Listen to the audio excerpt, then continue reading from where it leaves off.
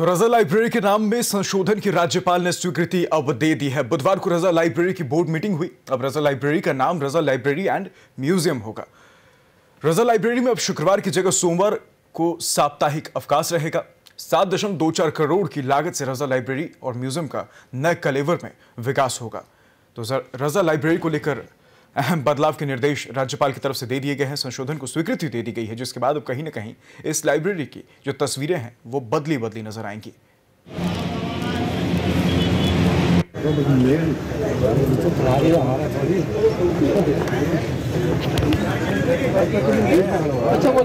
पीछे चलते जाओ गेट पीछे उठते